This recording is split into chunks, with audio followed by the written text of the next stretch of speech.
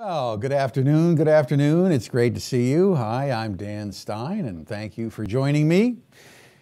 Give a few folks a couple of minutes come on in here, having a cup of coffee on FAIR's Build the Wall mug. And I got to tell you, this is one of the biggest sellers we've ever had here. They're flying off the shelves. And in fact, I'm not sure we have any more left. But the good news is we're going to have some others that will be coming online shortly, and you'll have your opportunity to select from a variety of mugs that have many of the same features. Build the wall, make it tall, because as you can see, there's a lot of work left to be done on the immigration issue. Now, uh, this is FAIR's 40th anniversary. 40th anniversary, 1979 was the year that we were founded. And so here we are 40 years later, and I'm thinking back on the day I walked into the organization. I've been with FAIR off and on in various capacities now for 37 of those 40 years. So I have a lot to report on. I've seen a lot over the years. The organization that I walked into in 1982 was a small group of people in a townhouse near DuPont Circle here in Washington. Wonderful, wonderful group of people. We had an executive director. His name was Roger Connor. Uh, definitely running on a shoestring. The most remarkable thing about FAIR when I came in here was that it was made up of concerned American citizens. Many of them had come from other parts of the country to work to try to pass reasonable immigration levels, legislation to try to implement some of the key recommendations of a major commission that had come out with a report in the 1979 period, the Hesburgh Commission it was called. What was really remarkable about that was that there was this naivete, if you will. People really believed that it was a matter of simply coming into Congress and telling them in terms so plain and clear uh, as to command their assent data-based analysis that unless we brought immigration levels under control and restructured the current process for selecting immigrants, we would continue to see growth as far as the eye could see. Now, many of those folks discovered the hard way that there are, in fact, a lot of forces in this country that are working very hard to deconstruct the United States as a nation state, as an independent sovereign, and it begins with the loss of our ability to control our borders and regulate them. A lot of those interests were powerful back then, but a lot of them were not. And over the intervening 40 years, we've seen a tremendous growth in the organizations that are working to try to tear down the nation's immigration enforcement apparatus. But in 1982, we were very optimistic that we were going to see major reforms. And by the time the 1986 immigration legislation came to the floor, it was very clear that there was opposition to changing the selection criteria. And although employer sanctions were finally enacted after the first time they were introduced was like 1948, Peter Rodino, remember him, a member of Congress from New Jersey, his first term, he introduced an employer sanctions bill and it took from 1948, we got the Texas Proviso in there in 1952, that exempted employment from harboring sanctions. Uh, then we had the termination of the Bracero program in 1964. Of course, we had then hemispheric quotas put in in 1965. We saw an increase in illegal immigration by 1968, 69. By the mid 70s, that's why the Hesburgh Commission was, was appointed.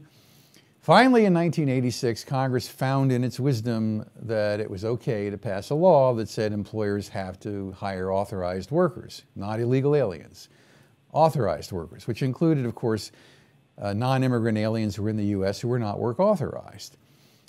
We had great expectations, of course, after 1986 that they were going to enforce those laws. And as everybody knows, and part of the reason why the immigration issue is now so polarized, is that business community, business organizations, along with the Ford Foundation and others on the uh, left-wing side of things, worked very hard to try to thwart enforcement and make it very difficult to enforce those laws. Uh, after the 1993 Trade Center bombing, that was the first Trade Center bombing where it was clear that the people here were illegally here. Many of them had come in with phony asylum claims, overstayed visas, uh, using documents, illegal documents, fraudulent documents. There was a push to try to tighten up asylum in the early 1990s. There was a major grassroots push in 1994, which led to California's enacting Proposition 187, and of course, consistently since then, every time voters have had a choice, with very few exceptions, they voted in favor of strong immigration controls.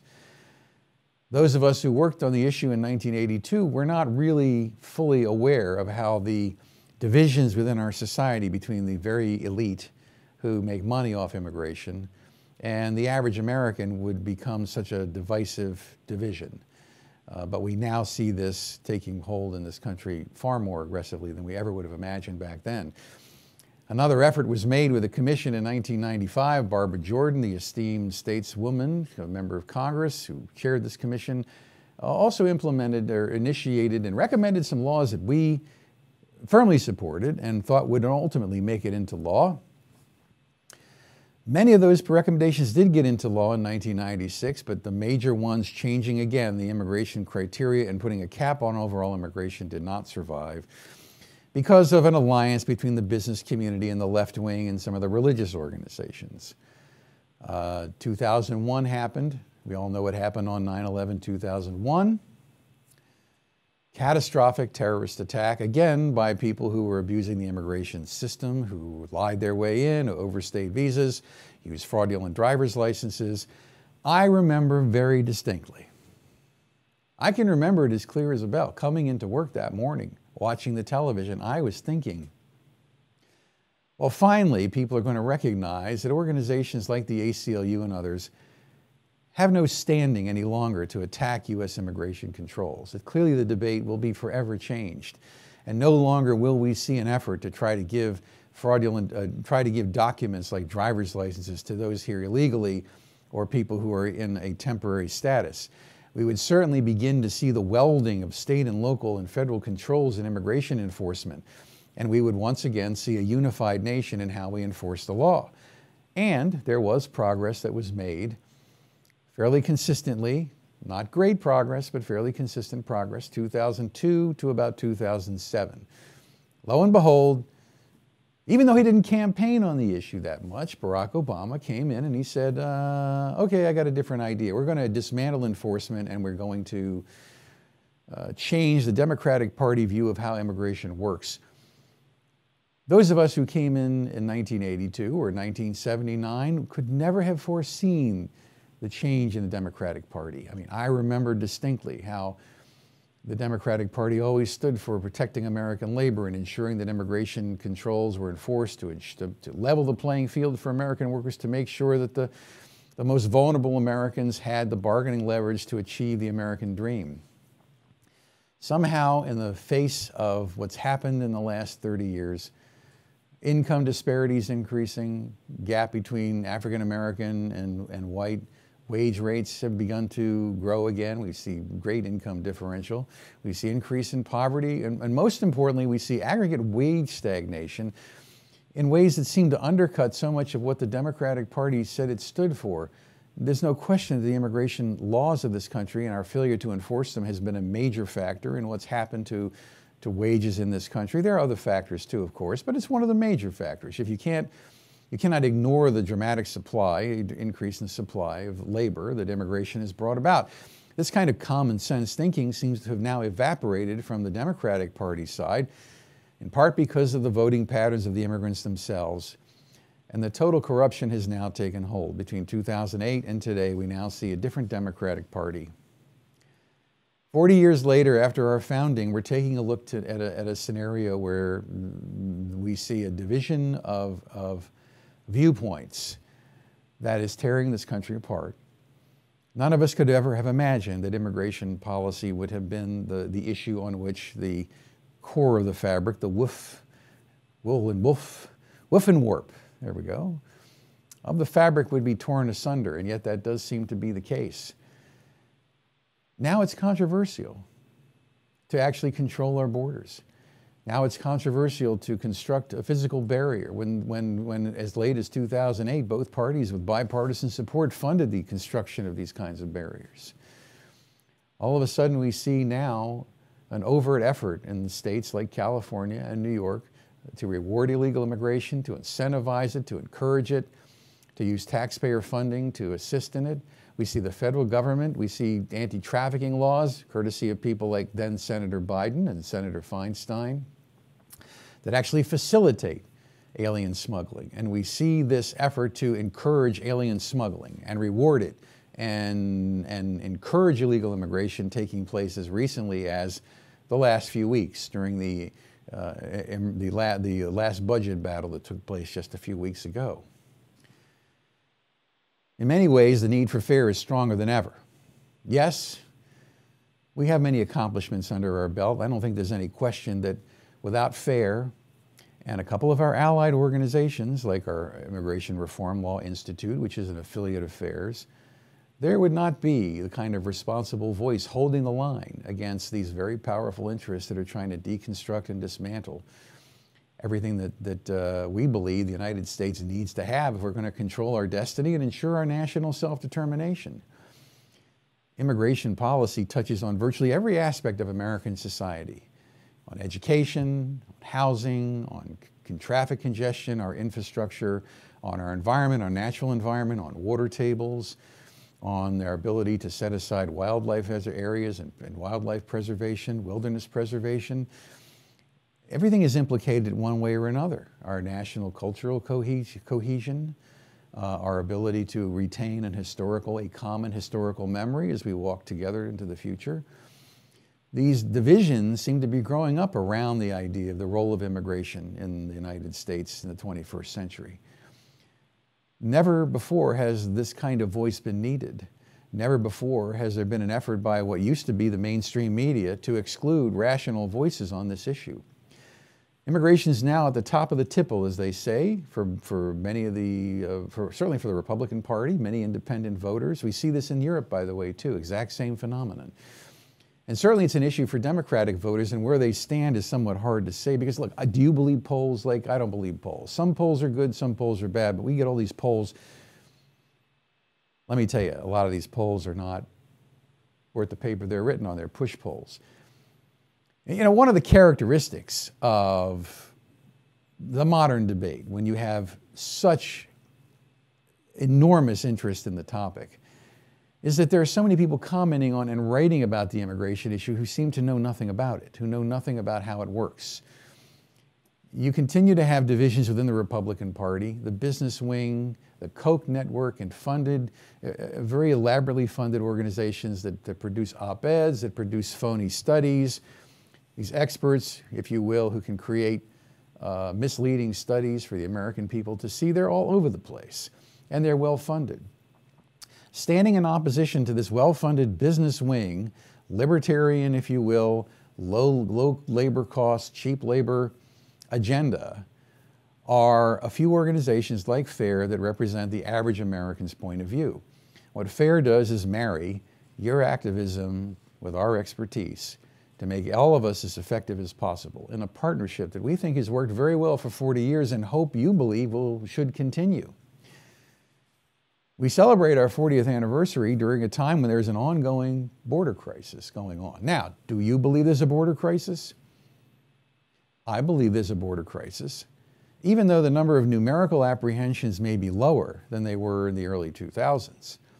There is a bona fide border crisis because, as everybody knows, Border Patrol is having a difficult time apprehending people in part because of the way in which the law is being interpreted and enforcement policy changes that were made during the Obama administration.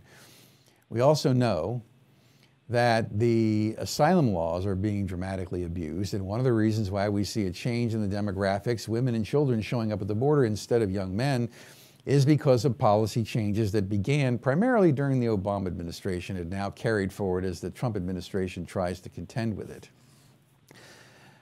We do know that there's a bona fide crisis. Just last week, head of the Border Patrol, Carla Provost, she broke down in tears describing the tragedy of what's happening on our border.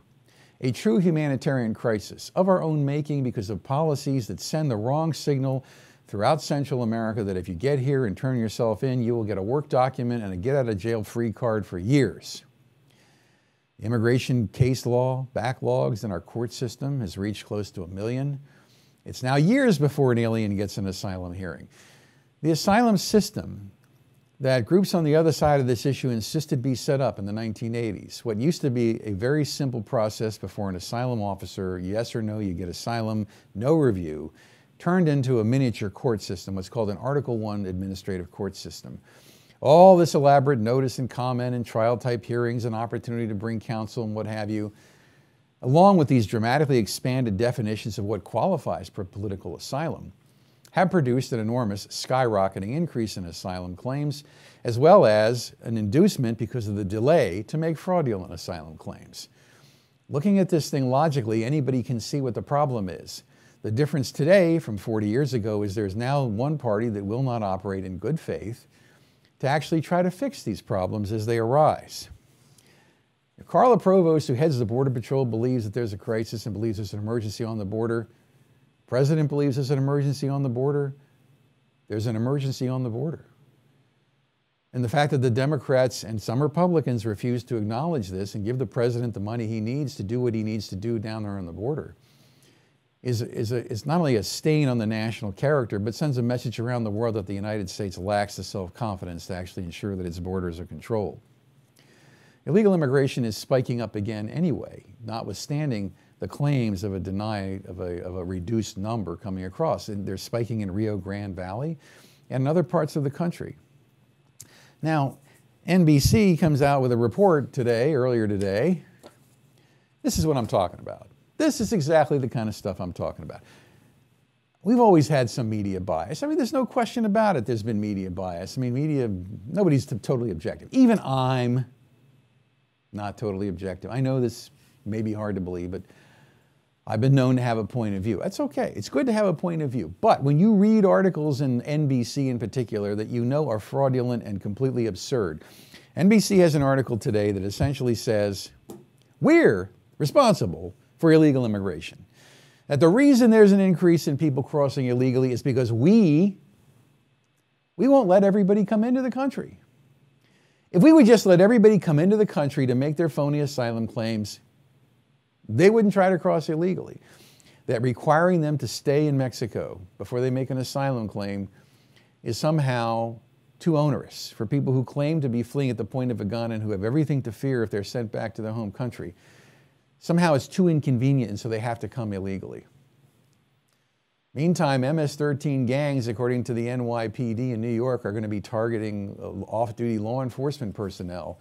And how did MS 13 get into the country? How did it all start? It's very interesting to see this complete disconnect. All right, so this kind of thing is something that, I mean, this kind of media absurdity, ridiculousness is now something we're treated to every day. So while we've always had bias in the media and people you know, don't expect reporters to be completely objective, they all have a point of view and there's nothing wrong with that. Manifest absurdity has now become the standard in the legacy media on a day-to-day basis. But I'm not a complainer. And I do want you to know that there are a lot of good things happening too, okay? Under the administration, this untold story is very important and I want you to pay close attention to what I'm saying. Worksite enforcement is up. Worksite enforcement, these are the enforcement processes for employer sanctions. Okay, they're going out and checking out work sites to see uh, whether people are authorized to work on work sites. This is very, very important. In fact, they're up 300% this year in the last 12 month period. So unlike the Obama administration that virtually stopped worksite enforcement, they are really tightening up.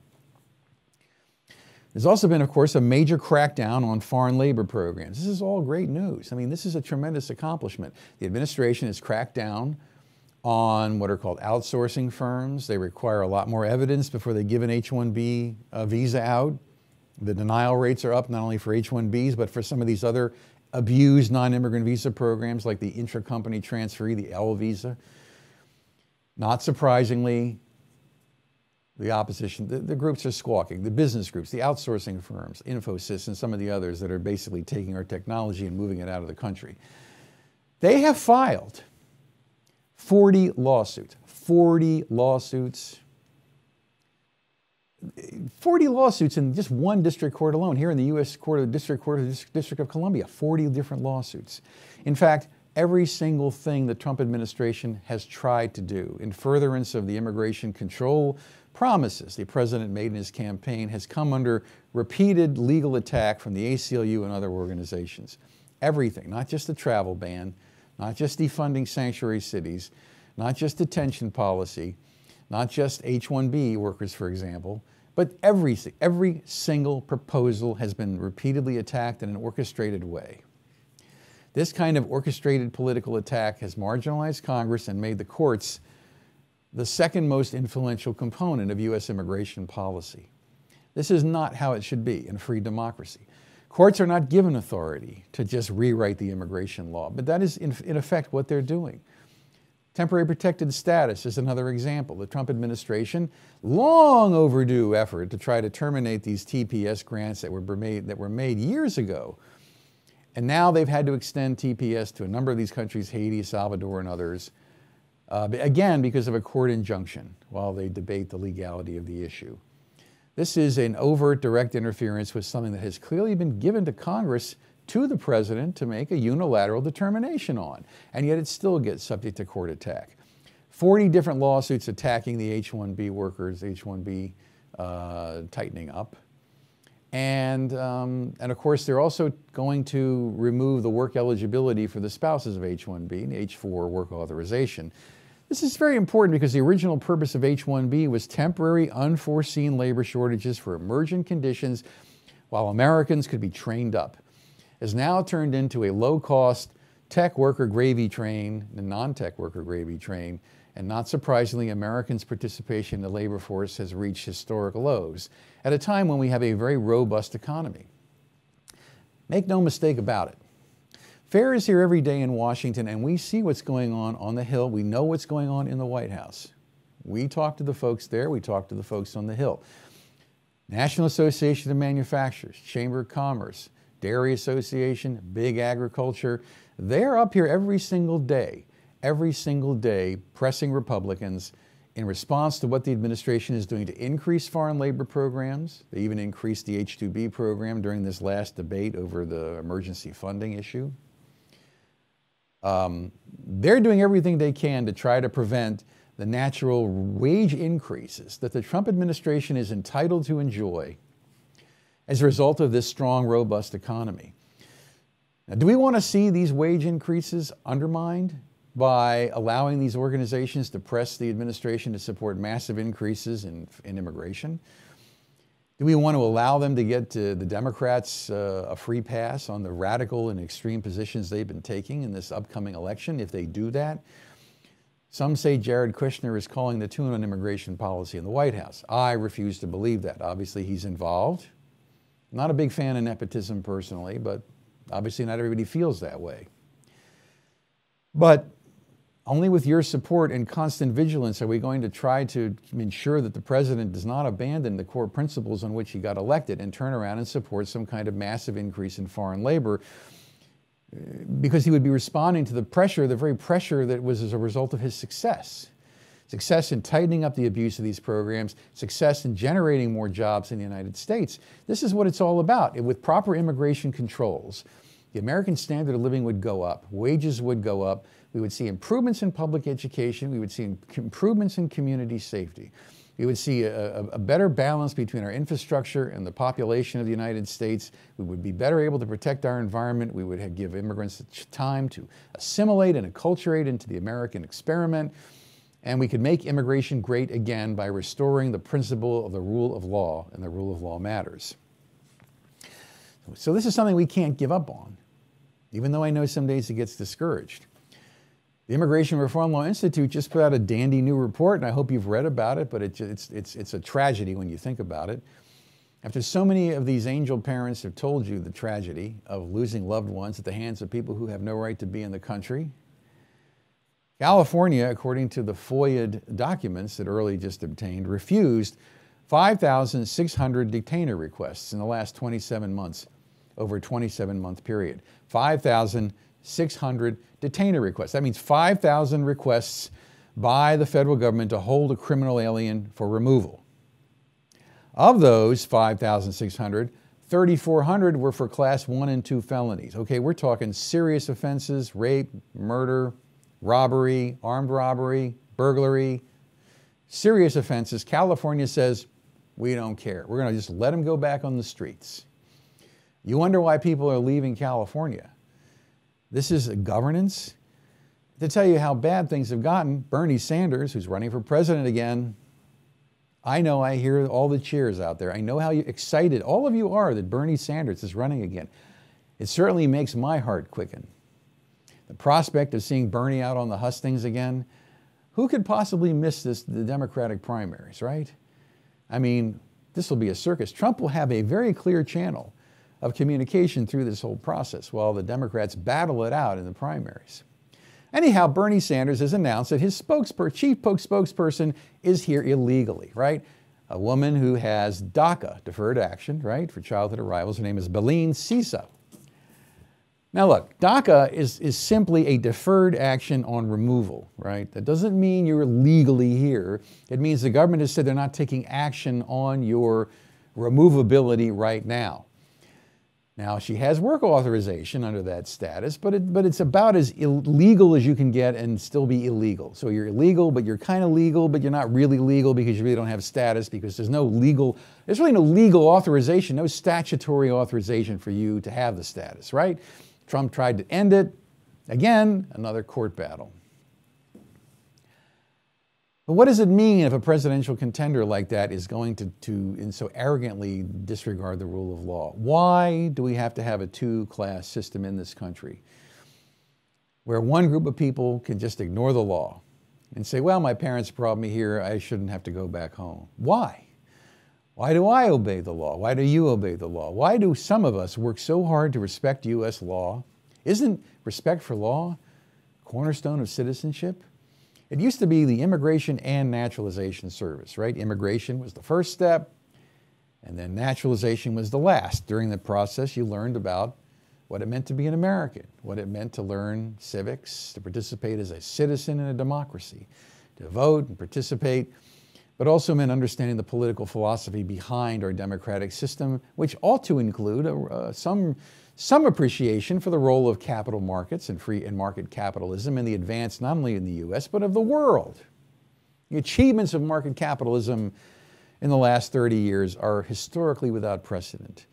They are a story of great pride for Americans and what we have achieved in sending information and knowledge, in advancing education in developing countries. One of the great quandaries for FAIR, we didn't really realize 40 years ago, is that we knew the poorest of the poor around the world did not move.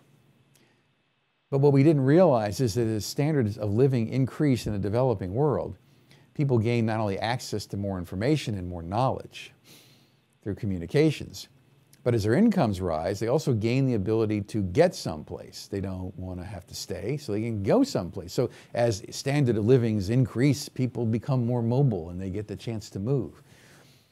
That's a huge deal that suddenly we're facing over the next 35 or 40 years this increase in mobility potential. And so if you take a look at the demographic projections for the US or say Europe, you can pretty much project the, the, population growth of the native population based on fertility estimates. The great outlier here is the migration patterns, which can widely vary and which can dramatically change the outcome. Now, people are going to say, well, United States, we need more immigrants because of because we're aging, right? We're getting older. I mean, yeah, okay, I'm not as young as I used to be, but the fact is the society's not aging. I'm aging, maybe. Everybody's aging individually, but we're not aging. Americans are working longer. You ever spend any time in Florida in these resorts? You see people working who are 75 and 80 years old. You increase the retirement age and you accomplish a lot more than you're ever going to accomplish through immigration because immigrants bring elderly parents. I mean, you, you might modestly change the average age composition of the country. You dramatically increase the dependency of their elderly parents and their children and they come here. So it's really not a solution to the aging problem that they claim, okay? But it does have a dramatic potential impact on your population growth rates because migration tends to be now very unpredictable. You know, these surges like what we see from Central America, not predicted four or five years ago. Um, another thing I want to talk about robots. Robots are dramatically increasing. We've seen like a 37% increase in robots uh, in the last uh, two years. Uh, I think in 2017, 20, 2018, 35,000 robots were purchased in the United States for manufacturing. 35,000. That is going to accelerate very rapidly because robotics are taking hold faster than anybody can imagine. 30, 40 years ago, none of us imagined the impact of outsourcing and the globalization of the economy and the impact of the internet on the changing way in which knowledge work is done. And obviously, at the same time, 40 years ago, none of us imagined the threat that robotics meant to the ability of people with less skill and less education who do, did repetitive work and had high standards of living back in the 50s and 60s. What exactly are all these poor and unskilled people who are pouring across our borders going to do when robotics take hold? And if, in fact, wage rates increase, robotics will be adopted even faster. If you want to retard the introduction of technologically advanced robotics, bring in more so-called low-cost labor. Places like Japan are doing very well introducing robotics into their economy, and there's no reason why we can't as well, but we shouldn't be defeating ourselves. By the same token, recognizing the big problem with the Green New Deal. The question is how does getting us off of carbon emissions, the carbon footprint, changing the way in which we consume power, how is that made easier by expanding our population by millions and millions of people through immigration? The U.S. has a large carbon footprint, not as big as China's, but obviously as population grows, your ability to cut carbon emissions in the aggregate declines, but it doesn't decline, it, your ability declines because your population is growing. So that means that you're not getting the same bang for your buck as, as per capita carbon emissions decline. See what I'm saying? It's very difficult to understand how the modern day environmental community, now so embedded in, in the Democratic Party, can turn a blind eye to the impl implications of immigration in helping this country achieve uh, conversion to renewable energy over the next hundred years. The administration is working very hard, and we support this, to keep asylum seekers in Mexico. Why? Because everybody knows most of these asylum seekers are, are fraudulent. They're, they're making fraudulent claims. You know, you know it, I know it, you know this is all bogus. You understand why they're doing it we have this studied air of unreality, this ostrich effect of mostly Democrats in the Congress who refuse to recognize the impact of laws that they've helped enact in creating the current crisis. Nobody's allowed to force their way into my country. Nobody's allowed to do this and still say that our humanitarian programs have, have, have, uh, have, have integrity. The American people have been more than generous in the last 40 years. The American people can take a, a backseat to no one. In our, our willingness to resettle people from other countries, to take in newcomers, we have been incredibly generous. In fact, very few countries in the history of the world have undergone the kind of demographic change we have. And yet, Americans have been, on balance, very tolerant and accepting of that change. And that's a good thing. But by the same token, if our humanitarian impulses, its programs reserved for people truly in need are taken advantage of by people who simply want to improve their economic prospects. Well, it puts into jeopardy the whole humanitarian principle as well as public support for these programs. Our asylum system was originally designed for people who were here legally and as a result of changed circumstances could not go home. And then in the Cold War, uh, there would be people who came from centralized dictatorships whose uh, basic claim here would give rise to a rebuttable presumption that they were eligible for asylum. It, we have a refugee admissions process for people through third countries. Asylum is not supposed to be for people who come traipsing through a bunch of safe countries and coming to the U.S. and then say, oh yeah, I want to stay here. That's where I want to go. Asylum seekers don't get to pick and choose where they want to live. You have to make a claim at the first safe country. Somehow or other, this is lost on the Democrats now. They don't seem to see a problem with that. As far as they're concerned, once they get in, they should be able to stay and nobody has to go home. Do you realize what that means? It means the Democratic Party has taken the position that immigration is unlimited. Unlimited. Subject only to removal for people who are serious criminal felons if, in fact, the federal government can find them. Except that there's a wing now of the Democratic Party that wants to abolish ICE, wants to starve ICE, wants to take ICE out of commission. Not satisfied with having destroyed state and local cooperation with federal authorities, not satisfied with having isolated federal enforcement authorities from other federal agencies like the IRS, Social Security Administration, and others, EPA. They want to defund ICE entirely and make it focus on bringing in alligators or endangered species, not on immigration controls. I mean, this is flat out their agenda. I mean, the good news is Unlike 40 years ago, the true intention in the agenda of some of these people, like AOC, we all hear about her, getting tired of her, aren't you? This is what they want. They want no borders. At least they're anti borders.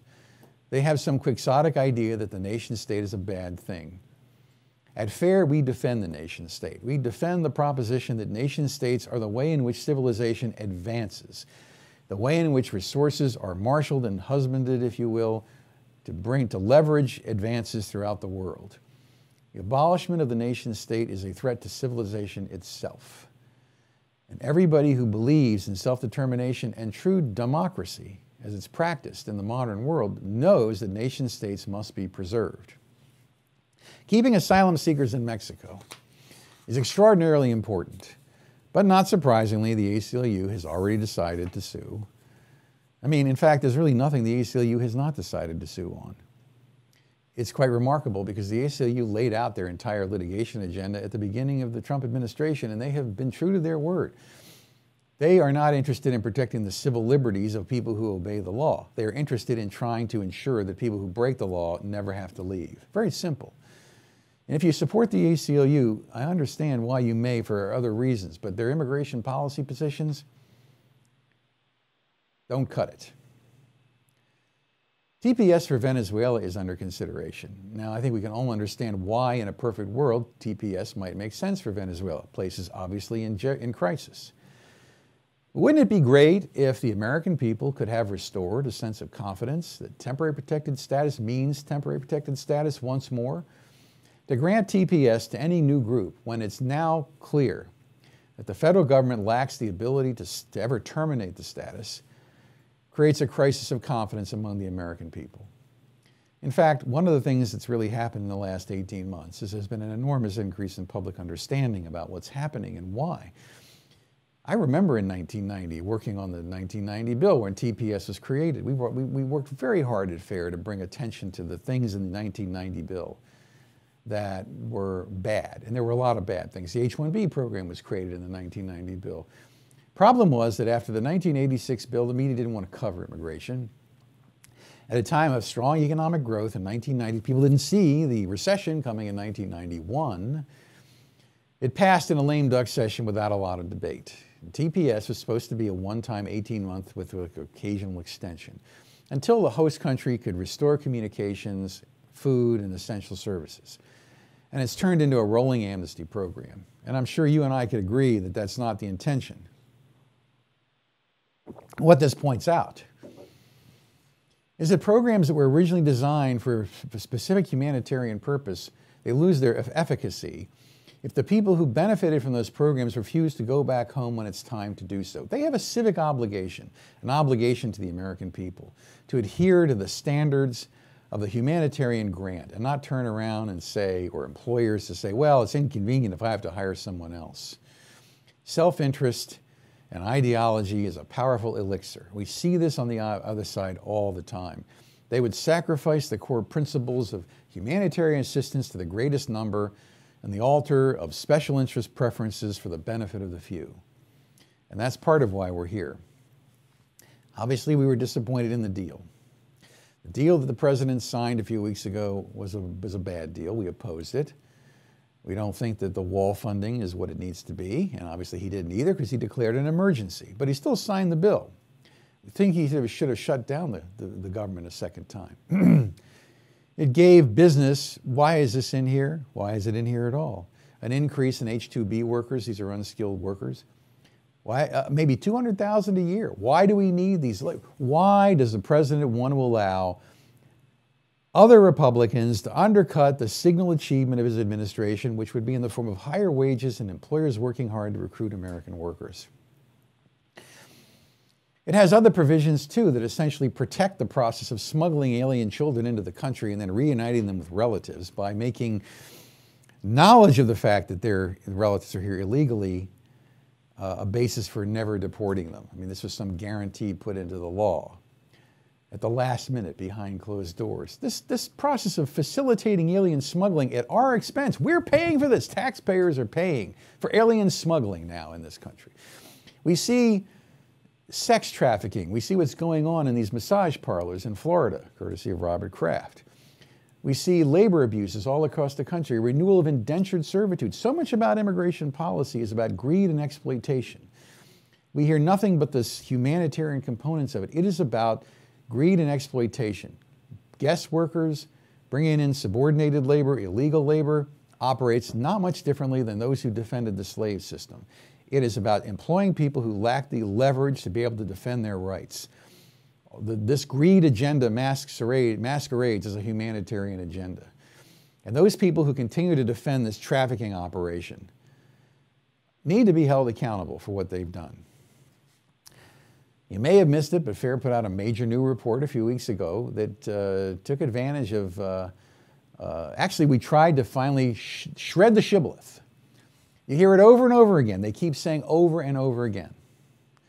Illegal aliens don't commit crimes as frequently as American citizens. This offensive and ridiculous stereotype has been put to bed once and for all by this excellent new report from our research department here at FAIR, which went and analyzed the SCAAP data, that's the State Criminal Alien Assistance Program data, to take a look at the reimbursement requests that states were making to the federal government for their illegal alien incarcerated population. Doing some quick math, back-ended it out to figure out the percentage that were here illegally. And lo and behold, what we found is, in fact, that's not true. In fact, you know what? If you're here illegally, you really can't not break the law. It's not just entering without inspection or entering fraudulently or using phony documents or failure to file taxes or a variety of other things. I mean, you simply have to break the law if you're here illegally on a fairly routine basis. Not possible not to. Crimes of moral turpitude, fraud, phony documents. I mean, you just plain have to. How can it possibly be that people who don't respect our laws don't commit crimes more frequently than people who do? If you have not seen this report, it's on our website. I encourage you to take a look at it. So as you can see, there's a lot going on right now. Part of our success in 2016, seeing the administration take immigration front and center and adopt a whole lot of core principles that have been part of the marquee agenda of this organization for going on the last 30, 40 years, has been enormously gratifying. But I am here to advise you it's not just that we have a divided Congress and, quote, not much is going to get done. It doesn't work that way. Things will get done in the next two years. The question is, are they going to be good or bad? We can get some good things done through some must pass legislation, attaching things in the House or Senate. But the real problem is that the pushback as a result of the success of the Trump administration is now coming directly from business groups that are pushing very hard on the Republican side. People like Thom Tillis, from North Carolina who turned around and were voting against the administration's emergency declaration. These guys are totally in the pockets of these cheap labor interests. Probably one of the most frustrating things to me in 40 years is the media pay all attention, all this attention to loud people like AOC, these loud vocal people, Kirsten Gillibrand and these other people running for president. They, they, they're, they're noisy. You know, Bernie Sanders is press secretary. Noisy, noisy, noisy. But that's not where the power really lies. The power really lies in big agriculture, okay? Manufacturers, contractors, associations. Big agriculture is huge. They're the ones who've been calling the tunes, who have been really working to torpedo the much needed immigration controls for the last 40 years. Clearly, the Democrats as a party now see an opportunity. Without mass immigration, their prospects for winning the White House have been pretty bleak. Mass immigration represents the only major opportunity for the Democrats to consolidate political control for the next 50 years. And as a result, we're, we're operating within a system which is unfortunately not working in the best interest of the, of the American people overall. You need a voice here in Washington. You need a voice like FAIR. FAIR will be there, hopefully for the next 40 years. Now, I remember way back some of the folks here said, yeah, you know what, we're going to get this thing done in 10 years and we're going to close our doors and nothing would make me happy. You know, I'm probably retiring in five or six, maybe eight years. I hope I get to retire. Nobody here says I can retire, but I think retirement might come sometime. I do hope we can all, you know, all say, you know what, we got the job done. Part of the reason immigration is out of control now is because people who actually succeeded in holding the line in 1952, the McCarran-Walter Act, closed their doors and went away. Immigration was very low until 1968 or 9. So the 65 Act passed in part because people turned their backs on the issue, didn't pay attention. It had been low for a long time, not viewed as a big issue. Nobody really knew what they were doing when they drafted the 65 Act. It was just something done on the back of a cocktail napkin. We can never allow that to happen again. We cannot allow that to happen again. No nation has faced the kind of global demographic pressures on its border as the United States, parts of Europe, and others face today. We represent the cultural enlightenment that makes us a destination that everybody wants to come here to enjoy. Why we should be tearing each other apart and scratching each other's, other's eyeballs out at a time when so much of the world wants to move here is simply beyond me. But maybe we're just doing so well. We don't have anything else to do but holler at each other. But we have so much to be proud of. But in order to preserve the things that we care most about, we have to ensure that our borders are controlled and the immigration levels are kept under proper controls and limits. Immigration is simply too high. Without FAIR, without FAIR and a couple of our allies, you will not see the kind of voice this nation needs uh, over the next decades to defend uh, this against this constant attack on our, on our future integrity, our immigration controls, our ability to decide our future. Your children and grandchildren depend upon this. So I appreciate you being part of our FAIR family, supporting what the organization does. All of us are proud to be associated with the organization. It's always difficult to tell the truth, not always easy to tell the truth, because people out there don't want us to tell the truth. But thanks to your coming here, visiting with us periodically, every day 24 7 on our Twitter feed, our Facebook feed, ably handled by our expert staff, you get the truth. Truth is what you'll get today, truth is what you'll get tomorrow. So thank you for being part of FAIR, and I will talk to you again soon.